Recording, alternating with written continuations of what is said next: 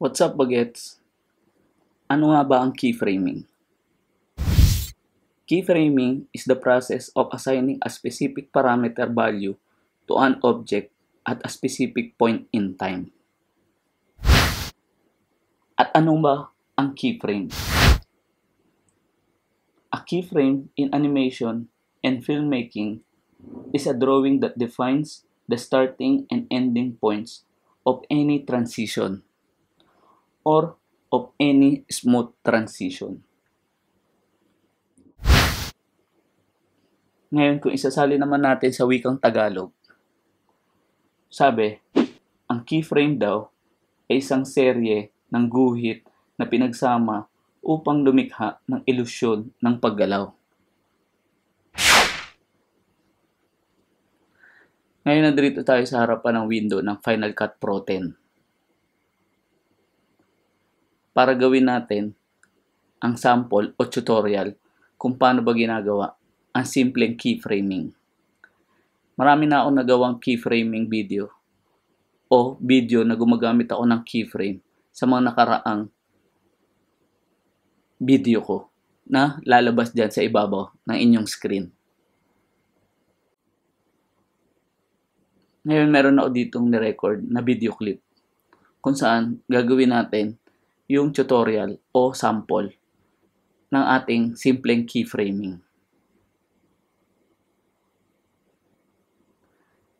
Gagamit lang tayo ng isang custom text na ilalagay natin dito sa ating video clip. Expand natin siya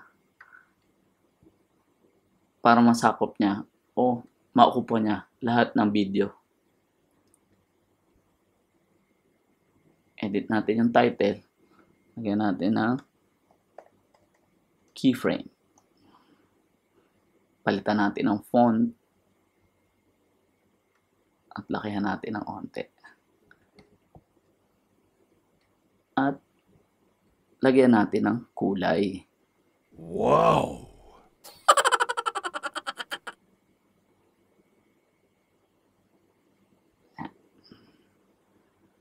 So sa simula ng ating video clip, ilalagay natin dito yung custom title na ginawa natin.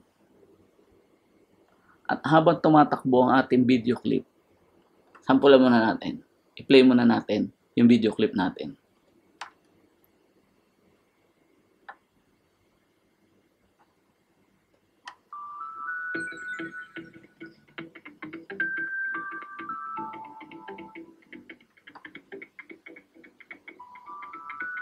So, yan yung video clip natin. Ang gagawin natin keyframe, habang gumagalaw o nagpi-play yung video, igagalaw natin to word papunta dito, papunta sa taas, papunta sa kabila, bago bumalik ulit sa original niyang posisyon. So, gawin natin yung keyframing. Una, dali muna natin yung ating video sa pinakasimula o i-drag natin sa pinakasimula. Dahil nakatik na yung transition o transform button sa ating timeline,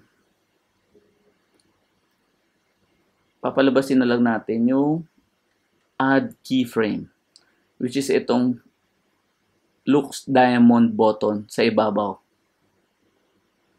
So, simula ng ating video clip, itik natin tong add keyframe or add a new keyframe at the playhead. Tik natin yan para mag-start yung ating keyframing. Ngayon, i-play natin siya.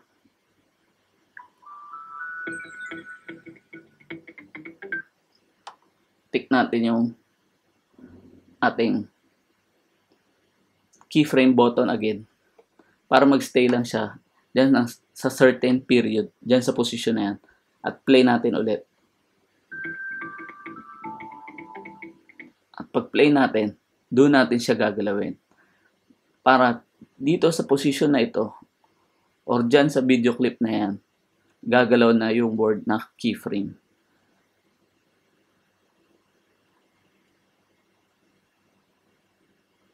Kung mapapansin natin, meron siyang red arrow line, which is nagko-correspond siya kung saan pupunta yung word natin. Pa natin. Yan. And then, play ulit natin.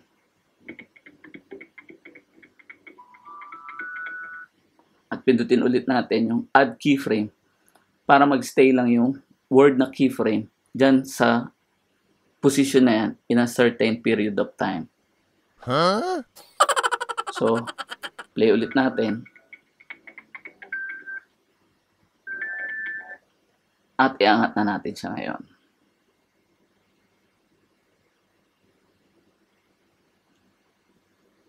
Play ulit tayo.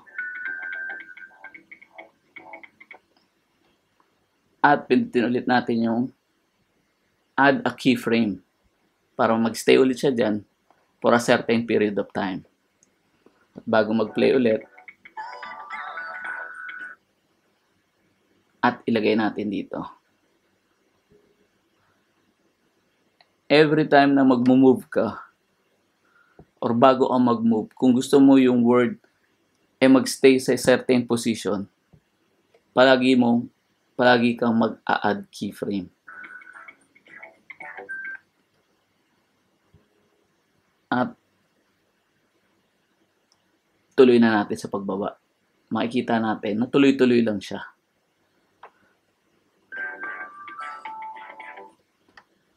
Ngayon, subukan natin. Stay siya. Yes, na nag-move. Nag-stay ulit.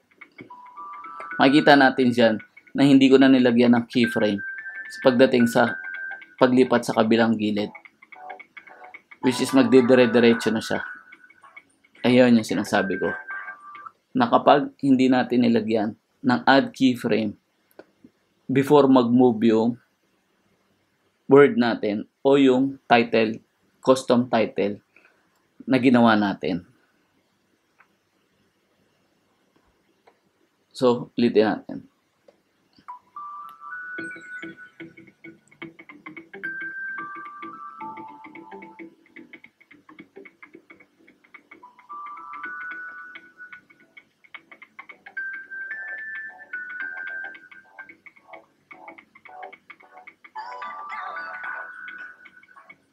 Yes. Ganun lang siya kasimple.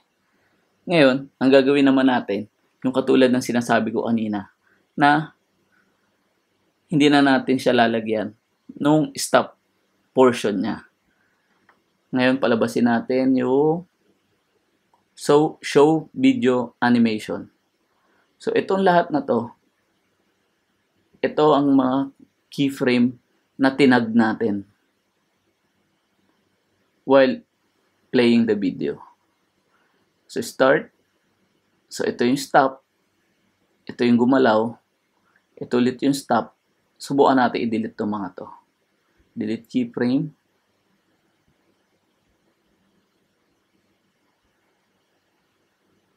Delete natin itong keyframe na to. Delete natin itong keyframe na to. Subukan natin kung ano ang mga kahinatnan niya.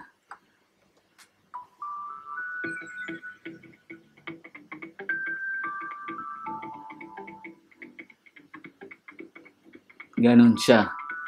So, wala na siyang stop moment. Dire-diretso na siya.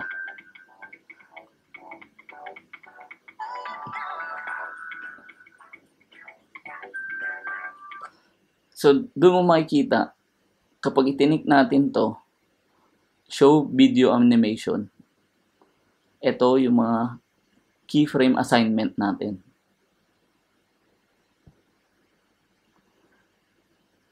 So, ganun lang kasimple kung paano gawin ang keyframing. Sana may natutunan kayo.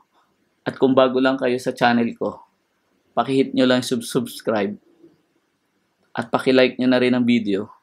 At kung may oras pa kayo, pakishare nyo na rin. Hanggang sa muli, maraming salamat po.